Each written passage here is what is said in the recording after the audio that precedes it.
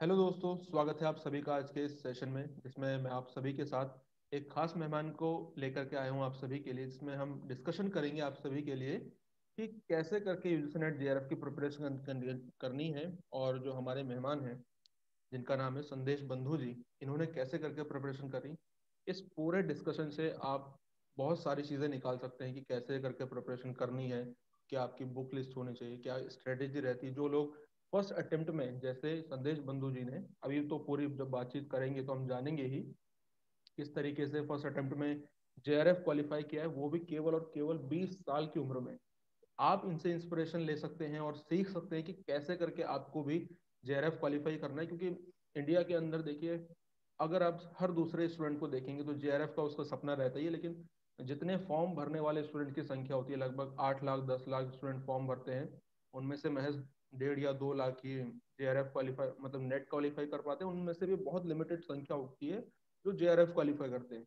लेकिन आपने संदेश बंधु जी ना इन्होंने केवल जे आर एफ़ क्वालिफाई किया बल्कि पहली बार में जे आर एफ़ क्वालिफाई किया है एम के थर्ड सेमेस्टर में। अभी ये इनका एमए थर्ड सेमेस्टर चल रहा है। उसमें इन्होंने जे आर एफ़ क्वालिफाई किया है बीस साल की उम्र में। तो सबसे पहले तो संदेश बंधु जी आपका बहुत बहुत स्वागत है और बहुत बहुत शुक्रिया आपने कि हमें समय दिया आपका आने के लिए। थैंक यू सर तो सबसे पहले संदेश जी आप अपने बारे में कुछ बताएँ। अपने एजुकेशनल बैकग्राउंड के बारे में आप कहाँ से हैं इसके बारे में आप अपने बारे में थोड़ा बात बताएँ। सर मेरा नाम संदेश बंधु है और मैं जो है ग्रेजुएशन मेरा इलाहाबाद विश्वविद्यालय से है सेंट्रल यूनिवर्सिटी ऑफ़ इलाहाबाद से। और सविन सिंह सर से सभी लोग परिचित होंगे उनकी बुक्स आपके भी वीडियोस हैं उस पर तो वही डिपार्टमेंट उसी डिपार्टमेंट से हम भी हैं। और उसके बाद सर पोस्ट ग्रेजुएशन भी मेरा यही इलाहाबाद से ही चल रहा है और प्रॉपर मैं रहने वाला भी इलाहाबाद का ही हूँ। बहुत तो जी सर। ओके तो संदेश जी आपने जैसे कि हमने पहले भी बातचीत करी और आपने बताया कि आप एमए के थर्ड सेमेस्टर में रहते हो अभी आप 20 साल के केवल हैं और आपने जे क्वालिफाई कर लिया। तो इसका मतलब है काफ़ी पहले आपने प्रिपरेशन शुरू कर दी होगी। कब से आपने प्रिपरेशन शुरू करी? इसके बारे में थोड़ा बताएँ। सर ऐसे प्रिपरेशन का मतलब प्लानिंग तो ग्रेजुएशन से ही थी। तो मेरा पहला टारगेट तो ये था कि ग्रेजुएशन ज़्यादा कुछ तो उस समय नहीं सोचे थे लेकिन इतनी प्लानिंग थी कि ग्रेजुएशन में अच्छे परसेंटेज आए और अच्छे मार्क्स आए ग्रेजुएशन में क्योंकि कहीं ना कहीं ग्रेजुएशन वाला ही सिलेबस आगे हम लोगों को मिलता है इसमें। हम्म, तो एक प्लानिंग वहाँ से हुई तो ग्रेजुएशन में अच्छे मार्क्स आए अच्छे परसेंटेज आए तो वहाँ से बेसिक्स काफ़ी स्ट्रांग हुए और ऐसे प्रॉपर तैयारी तो जब फ़र्स्ट सेमेस्टर में हम लोग चले गए हमें के तो फिर पेपर सॉल्व करना और बाकी सारी चीज़ें वीडियोस आप लोगों के देखना। ये सारी चीज़ें तब शुरू हुई। ओके okay, मतलब जो कोर प्रिपरेशन है यूजीसी नेट जेआरएफ के लिए वो आपने एमए के फ़र्स्ट सेमेस्टर में आकर के शुरू करी है है ना? यस सर लेकिन मेन तो जैसे बेसिक्स तो मान लीजिए अगर ग्रेजुएशन स्ट्रांग रहेगा तो उससे काफ़ी हेल्प मिलेगी। ओके okay, जी हाँ बिल्कुल। अगर वही क्योंकि ओवरऑल सारी चीज़ें बी एम का अगर आप मिला देंगे तो उसको ही मिला जुला करके भी बनता है। तो कैसे करके आपने अगर आप शुरुआत की हम बात करें तो आपने शुरुआत कैसे करी? कि आपने एनसीईआरटी को सबसे पहले अपना बेस बनाया? या फिर आप जैसे आपने समझन सर का नाम लिया है शुरुआत आपने वहीं से जी सर। कैसे करा आपने शुरुआत? सर हम अपना सही बताएँ तो जैसे मेरा कोई जियोग्राफी बैकग्राउंड नहीं था ट्वेल्थ मेरा बायोलॉजी से है। तो मैं जब यहाँ मेरा एडमिशन हुआ इलाहाबाद विश्वविद्यालय में तो फिर एन टीचर्स ने कहा कि एन आप लोग पढ़िए क्योंकि जियोग्राफी के बारे में हम लोग कुछ भी नहीं जानते थे बिल्कुल भी नहीं। तो जैसे यहाँ तक कि हम लोगों को ट्रॉपिक ऑफ़ कैंसर कैप्रिकॉर्न ये सब भी नहीं पता था हम लोगों को फ़र्स्ट ईयर में बीए में। तो हम लोगों ने वही पहली बुक भौतिक भूगोल सविन सिंह सर की, उससे हम लोगों ने बेसिक्स स्ट्रॉन्ग किए अपने एन भी पढ़ी और वीडियोस भी देखते रहे यूट्यूब पे और ऐसे करते करते B first year second year third year इसमें पूरा अपना प्रॉपर बेस बिल्कुल स्ट्रांग हो गया और मार्क्स भी अच्छे आए इसी के साथ। और फिर एमए का जब इंट्रेंस देना हुआ इलाहाबाद का तो उसमें भी बहुत अच्छी तैयारी हो गई इंट्रेंस के लिए क्योंकि इंट्रेंस के लिए पूरा पढ़ना पड़ता है हम लोगों को बी हम्म। का सिलेबस तो इन सभी चीज़ों ने आगे बहुत हेल्प की। ओके। तो देखिए एक बहुत ही इंटरेस्टिंग बात इनके बारे में है कि एक तो बैकग्राउंड नहीं है ज्योग्राफी का। आप में से कई सारे स्टूडेंट होंगे ऐसे जो इस बात को लेकर के विचलित होते हैं घबराते हैं कि हमारा ज्योग्राफी का बैकग्राउंड नहीं है कैसे करके प्रिपरेशन करें। तो आपके सामने एग्ज़ाम्पल बैठे हैं। पहली बार में जे क्वालिफाई किया तो इनसे आप इस बारे में सीख सकते हैं। तो आप, आपने जैसा कि बताया कि आपने, आपका बैकग्राउंड नहीं है, फिर भी प्रिपरेशन करी तो आपको कुछ दिक्कतों का सामना आया कि आपको कभी ऐसा लगा हो कि मुझसे ज्योग्राफी प्रिपेयर नहीं हो पाएगी? ऐसी कुछ दिक्कतों का आपने सामना किया? जी सर, बिल्कुल। जब हम लोग बीए फ़र्स्ट ईयर में थे तो एक बार तो मतलब मुझे लगा कि ये मतलब नहीं हो पाएगा, कहीं फेल ना हो जाए इसमें ग्रेजुएशन के एग्ज़ाम्स में। क्योंकि बिल्कुल पहली बार था, कुछ भी समझ में नहीं आ रहा था बिल्कुल भी। और टेंथ तक पढ़े थे थोड़ा बहुत उसके बाद से इलेवन ट्वेल्थ में बिल्कुल ही छूट गई थी जियोग्राफी लेकिन फिर धीरे धीरे पढ़ते पढ़ते फिर चीज़ें इजी हो गई। थर्ड ईयर तक आते आते तो नॉर्मल हो गया सब। बिल्कुल करत करत लेकिन दिक्कतें आती हैं सर। बिल्कुल सही अगर आप डेडिकेशन के साथ काम करते रहेंगे तो कुछ भी असंभव नहीं है। ये आपने साबित जी सर। तो आप एक बार अपने जरा बुक लिस्ट के बारे में बताएँ कि कैसे करके एक एक करके यूनिट वाइज क्योंकि आपसे बहुत सारे स्टूडेंट हैं जो इंस्पायर होंगे। इतनी कम उम्र में जे क्वालिफाई करना वो भी नॉन जोग्राफिकल बैकग्राउंड से होना। अपनी एक बार आप बुक लिस्ट के बारे बुक लिस्ट शेयर करें सभी से। बुक लिस्ट में सर जैसे जो फ़िज़िकल के पोर्शन है उसमें तो सविन सिंह सर की बुक बेस्ट है। उससे अच्छी बुक मार्केट में कोई भी नहीं है। चाहे जियो मॉर्फोलॉजी की हो क्लाइमेटोलॉजी ओशनोग्राफी या उनकी जो एक फ़िज़िकल जियोग्राफी की बुक आती है जो कि जिसमें चारों यूनिट्स एक साथ दी हुई हैं। वो मेरे हिसाब से मेरे अगर अभी तक की लाइफ की one of the best book of geography हम कह सकते हैं हाँ, उसको। क्योंकि उसमें सभी चार यूनिट्स एक ही बुक में है और बहुत अच्छे से उसमें है। और थॉट के लिए माजिद हुसैन सर की और एक एस डी मौर्य सर की बुक आती है हम लोग के यहाँ। वो बुक काफ़ी अच्छी है। और पॉपुलेशन के लिए चांदना आरसी चांदना की बुक और एस डी मौर्य की बुक भी ठीक है। Okay. इंडियन जियोग्राफी और रीजनल के लिए भी Majid Hussain sir RC Tiwari sir की इंडियन जियोग्राफी काफ़ी बेहतर है। तो यही सर नॉर्मल बुक्स जो हम लोग ग्रेजुएशन में पढ़ रहे हैं और पीजी लेवल पे पढ़ रहे हैं प्रॉपर पहले मेरा टारगेट यही था कि हम सिलेबस को पूरा अच्छे से कवर करें हम्म। जैसे बहुत सारे स्टूडेंट्स क्या करते होंगे कि अरिहंत की या इस तरह की जो मार्केट्स में बुक है हम्म। उसको लेके प्रिपरेशन करते होंगे हम्म। लेकिन सही ये होना चाहिए कि जो मेन बुक्स हैं प्रॉपर जिसमें डिटेल में चैप्टर्स हैं उसको पढ़ना ज़्यादा ज़रूरी है बिल्कुल तो ये मार्केट में एक गाइड बुक जो अवेलेबल है उनकी तरफ़ ना जाते हुए पहले आपको अपना कोर स्ट्रॉन्ग करना चाहिए पहले अपने कॉन्सेप्ट क्लियर कर लीजिए लेकिन आपने बुक्स लिस्ट के बारे में बताया लेकिन मैं आपसे एक और स्पेसिफिक अलग से पूछना चाह रहा हूँ कि प्रैक्टिकल जो सेक्शन है unit number nine cartography and techniques वो उसके जी सर उसे लेकर के काफ़ी ओहा पोह मची रहती है कैसे करके प्रिपेयर करें? हम्म, हम्म, हम्म। उसी के अंदर कई चार सब सेक्शन दिए हुए हैं रिमोट सेंसिंग अलग कार्टोग्राफी अलग है। इसको कैसे प्रिपेयर किया आपने? इसके बारे में बताइए। सर उसके लिए वो चीज़ रियलिटी है कि प्रैक्टिकल लगभग सभी स्टूडेंट्स का वीक हो ही जाता है। हम्म। ये सबके साथ होता है। हम लोग के साथ भी हम लोग नंबर्स तो अच्छे पाते थे प्रैक्टिकल में लेकिन प्रैक्टिकल हम लोग करने के बाद भूल जाते थे फिर। हम्म। चाहे सर्वे करें या हम लोग प्रोजेक्शन बनाएँ लेकिन फिर जो है उसमें यही हम लोग किए कि पेपर सॉल्व किए पिछले साल के और कुछ बुक्स में हम लोग नोट्स भी बनाए हुए थे ग्रेजुएशन लेवल पे और एमए में भी तो उसी से हेल्प ली मिली हम लोगों को। लेकिन सर इसमें मेरा एक ये प्लान था कि जैसे टेन यूनिट्स हैं और ये चीज़ मैंने अपने काफ़ी फ्रेंड्स को भी बताया कि आप टेन में से सभी यूनिट्स पे कमांड नहीं कर सकते ये तो बिल्कुल रियलिटी है। निश्चित बात है। तो हाँ तो इसमें टेन में से किन्हीं सिक्स को आप चूज़ करिए उस पर कमांड करिए अपनी। हम्म। जैसे मैंने थॉट थॉट मेरा काफ़ी स्ट्रॉन्ग था। क्लाइमेटोलॉजी जियोमॉर्फोलॉजी इस तरह की जो फ़िज़िकल वाली यूनिट्स थी जो मॉडल्स वाले सेक्शंस थे जिसका मैटर अवेलेबल हर जगह है तो उसको मैंने बिल्कुल स्ट्रॉन्ग किया और जैसे जो कुछ टॉपिक हैं रीजनल डेवलपमेंट के इकोनॉमिक जियोग्राफी प्रैक्टिकल जिसके कंटेंट भी ज़्यादा अवेलेबल नहीं है तो उसको मैंने थोड़ा साइड में कर दिया कि इसमें ज़्यादा मेहनत नहीं करनी है इसमें सिर्फ़ पेपर सॉल्व करके जाना है और थोड़ा सिलेबस एक बार देख लेना है अच्छे से। तो यही सर मेरी प्लानिंग रहेगी कि किन्हीं छः को बिल्कुल स्ट्रॉन्ग करना है और बाकी तीन चार यूनिट को थोड़ा लाइटली लेके चलना है। जी बिल्कुल। देखिए जैसे कि आपको बताया कि आप हर एक यूनिट में हर एक पोर्शन में तो बराबर मात्रा में आप कर नहीं सकते हैं ना? नहीं सर। तो किन्हीं पोर्शन को आपको अपने नेचर के हिसाब से हम्म, हम्म। सामने वाला क्या कह रहा है उससे फ़र्क नहीं पड़ता है। आपको अपना नेचर देखना है। हो सकता है कि आप यूनिट नाइन में जिस यूनिट जो बाकी सभी के लिए टफ है वो आपके लिए इजी हो। तो आपको वो देखना है है ना? इस चीज़ में, इस चीज़ का आप सभी ध्यान रखें, जैसे कि उन्होंने बताया। और देखिए, आपने इससे पहले एक बात कही थी कि थोड़ा टफ तो सभी के लिए होता ही है ना? एक समय पर ऐसा लगा आपको भी कि पता नहीं होगा या नहीं होगा तो उस समय पर आपका क्या मोटिवेशन क्या पॉइंट रहा? कैसे करके आपने अपने आप को मोटिवेटेड रखा? क्योंकि ये सभी स्टूडेंट की समस्या होती है। एक लेवल पे जाके सभी को ऐसा लगता है कि शायद हमसे हो पाएगा या नहीं हो पाएगा। कहीं हमारा नहीं हुआ, हम कर पाए या नहीं कर पाए तो इस, उस समय पर आप स्टूडेंट्स को क्या करना चाहिए कैसे सोचे हैं आपने क्या किया? सर एक बार तो जब ग्रेजुएशन में थे बीए में पहली बार जियोग्राफी पढ़ रहे थे तब भी थोड़ा ऐसा लगा था। लेकिन फिर धीरे धीरे पढ़ते पढ़ते एक बार मार्क्स अच्छे आ गए फिर हो गया वहाँ मेंटेन हो गया। लेकिन जब इसकी प्रिपरेशन शुरू किए तब पता चला कि चाहे बीए में कितने भी अच्छे परसेंटेज आए हों या टॉपर ही रहे हों गोल्ड मेडलिस्ट हों फिर भी उसका कोई फ़र्क नहीं पड़ेगा नेट में। ये बिल्कुल ही अलग लेवल की चीज़ है। तो इसमें एक आध बार तो लगा कई बार मैंने अपने टीचर्स को मैसेज भी किया कि सर लग रहा है नहीं हो पाएगा या टफ है हार्ड है। लेकिन फिर मतलब लगा कि नहीं प्रिपरेशन करते हैं फ़र्स्ट ही अटेम्प्ट है। और एक तरीके से मेरी लाइफ का पहला एग्ज़ाम था क्योंकि मोस्ट uh, एग्ज़ाम्स में ट्वेंटी वन एज लिमिट रहती है।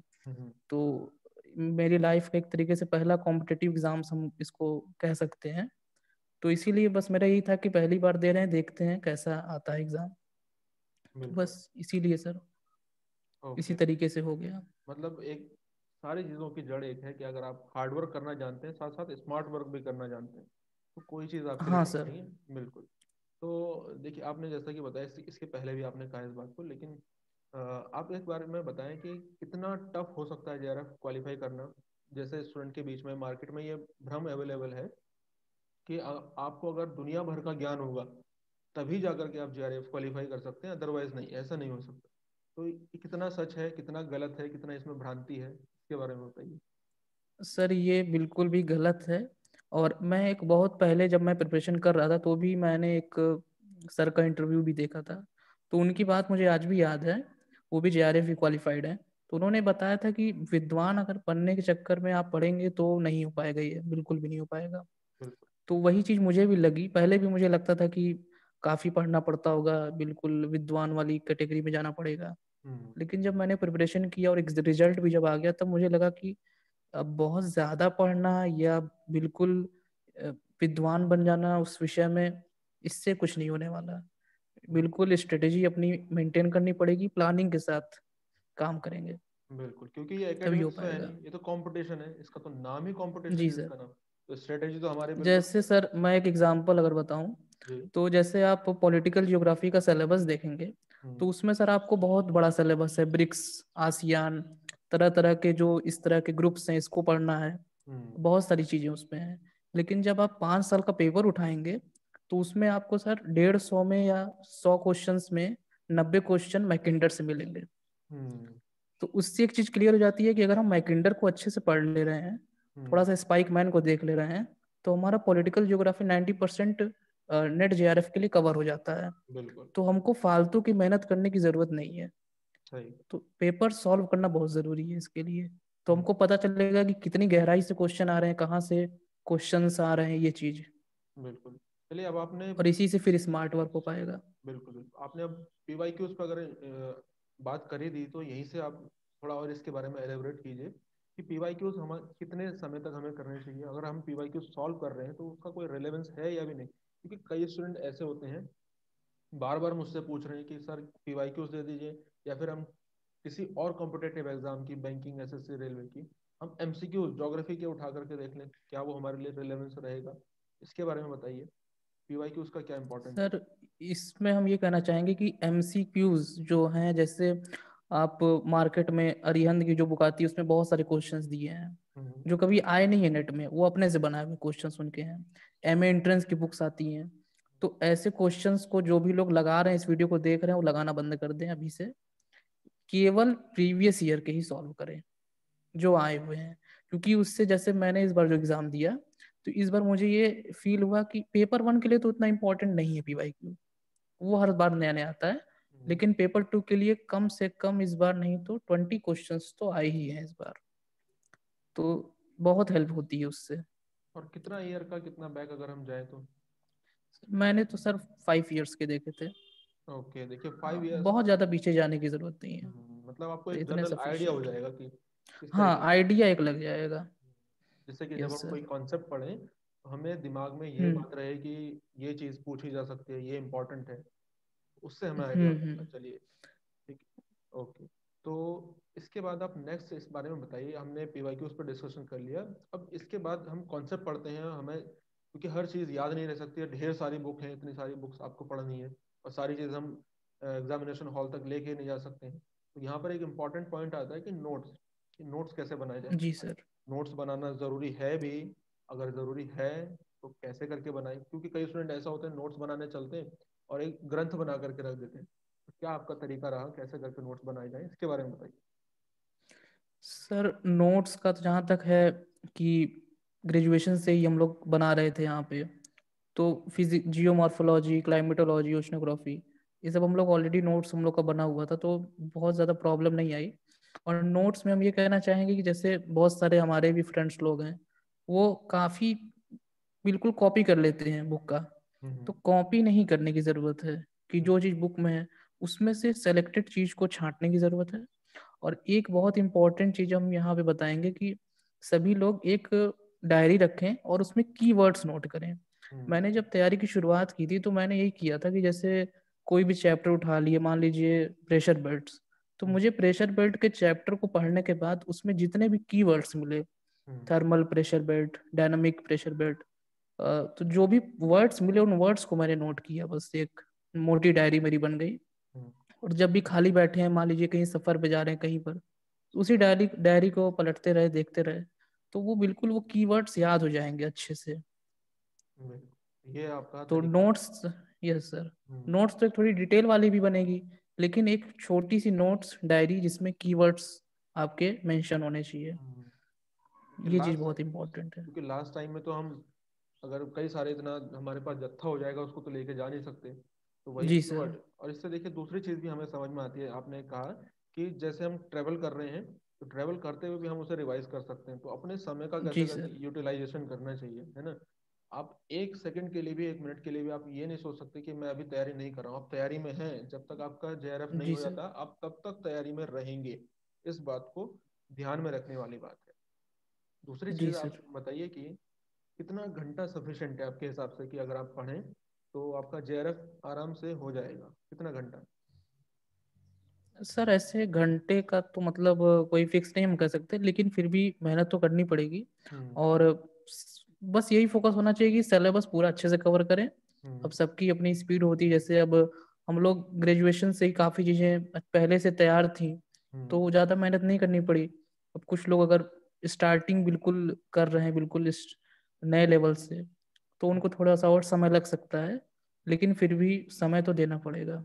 बिल्कुल एक अच्छे बार से। एक बार अगर आपने शुरुआती दौर में क्योंकि सभी को समय लगता है जैसा आपने कहा तो अगर आप एक बार ट्रैक पे आ जाएँगे तो फिर चीज़ें आपके लिए आसान हो जाएँगी। तो बिल्कुल मेहनत से ना घबराएँ।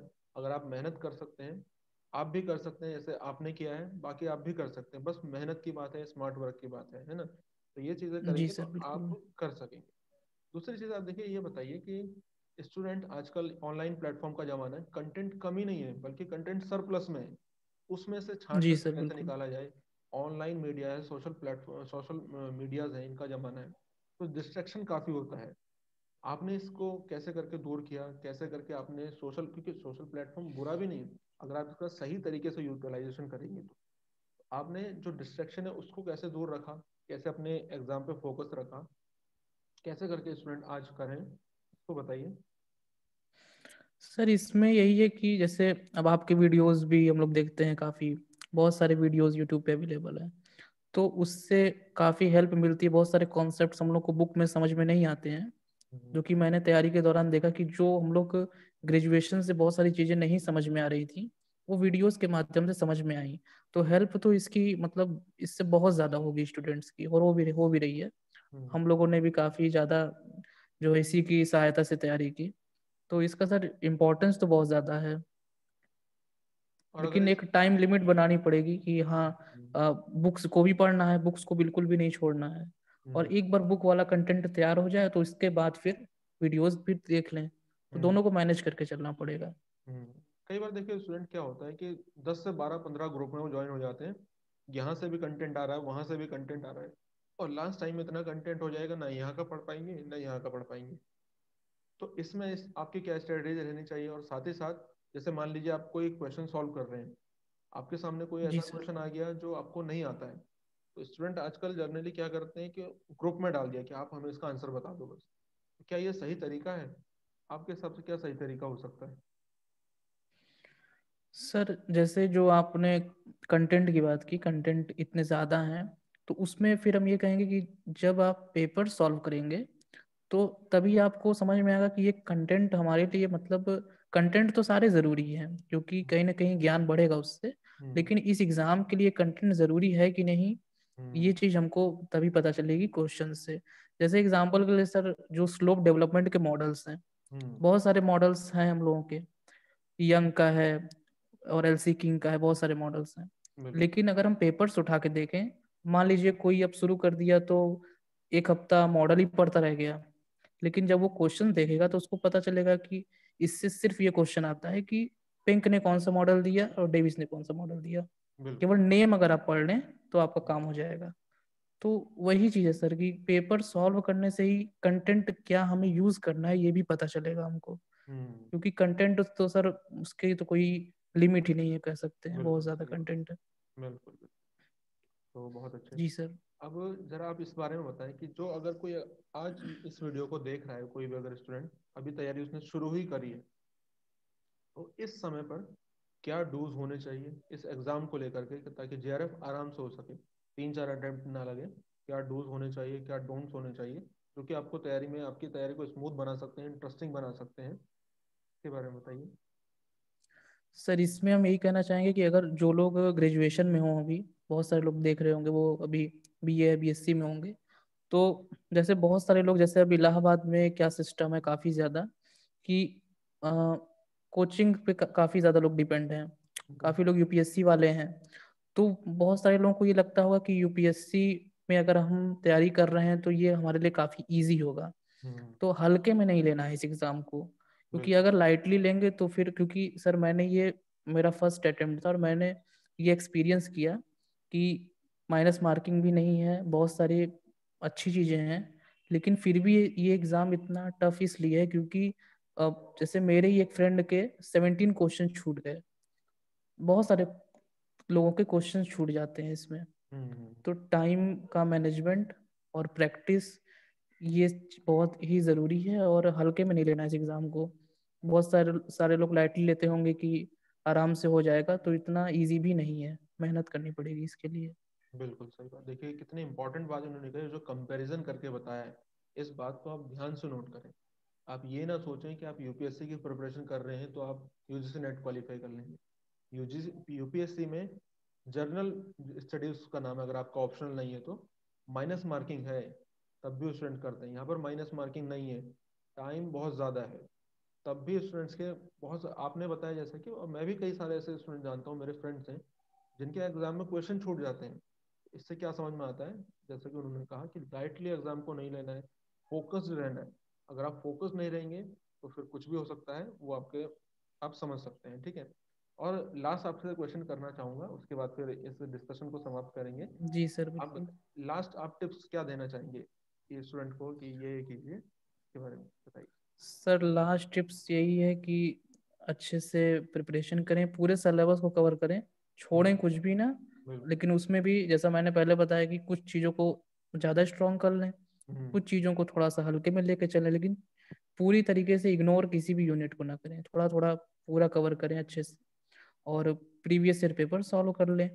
और एक चीज़ जो मैं ये कहना चाहूँगा कि सभी लोग जो पहली बार देंगे एग्ज़ाम वो एक बार कंप्यूटर पे एनटीए की जो वेबसाइट है वो हम्म, ओपन करके वहाँ वहाँ पे एक बार मॉक टेस्ट दें क्योंकि बहुत सारे लोग लोगों की माउस यूज़ करने की प्रैक्टिस नहीं होती है। हम्म, जैसे पर्सनली मैंने भी जब एग्ज़ाम दिया तो मुझे लग रहा है कि मैंने 10-12 साल बाद माउस का यूज़ किया क्योंकि ज़्यादातर यूज़ मोबाइल का होता है या लैपटॉप का। तो माउस को मतलब चलाना बहुत अच्छे से आना चाहिए आप उससे काफ़ी हेल्प मिलती है क्योंकि एग्ज़ाम में एक एक सेकंड का काफ़ी ज़्यादा इम्पोर्टेंस है। बहुत तेज मतलब घड़ी की इतनी सुई इतनी तेज़ी से चलती है वहाँ पे कि पता नहीं चलता कि कब तीन घंटे बीत जाएँगे और पता चलेगा कि बहुत सारे क्वेश्चंस बचे हुए हैं अभी। बिल्कुल। तो बहुत बहुत शुक्रिया संदेश जी। आप स्टूडेंट देख रहे हैं कि कितनी कितनी पैनी नज़र है आपकी इन इन- ये एग्ज़ाम पर। अगर इतनी पैनी नज़र आप इतने बारीकी से एग्ज़ाम को एनालिसिस करेंगे आराम से आप सभी भी कर सकते हैं। संदेश जी हमें आपसे मिलकर बहुत अच्छा लगा। आपका बहुत बहुत धन्यवाद। थैंक यू सर आपने हमारे समय निकाला और हम आपके उज्जवल भविष्य की कामना करेंगे। ज़ाहिर सी बात है अब आप एकेडमिक्स में जाना चाहेंगे और रिसर्च के फ़ील्ड में जाना चाहेंगे। आप बहुत नाम कमाएँ बहुत आगे जाएँ बुलंदियों पर जाएँ ऐसी हमारी कामना है बहुत बहुत शुक्रिया आप सब आपके लिए। और आप जो देख रहे हैं दर्शक अगर आप अपने कुछ ऐसे आपके सवाल हैं जो मैं नहीं पूछ पाया या फिर कुछ रह गए तो आने आ, आगे आने वाले किसी कैंडिडेट से मुझे पूछ लेने चाहिए। उन्हें आप कमेंट सेक्शन में लिख करके बता सकते हैं। साथ ही साथ अगर आप हमारा हमारे साथ अपना एक्सपीरियंस शेयर करना चाहते हैं तो ज़रूर से मुझे कांटेक्ट करें। मेरा व्हाट्सएप नंबर है seven nine eight three one triple eight three nine इस पर आप मुझे कांटेक्ट कर सकते हैं अपना एक्सपीरियंस हमारे साथ शेयर करते हैं कर सकते हैं। तो संदेश जी आपका बहुत बहुत धन्यवाद thank you thank you sir thank you sir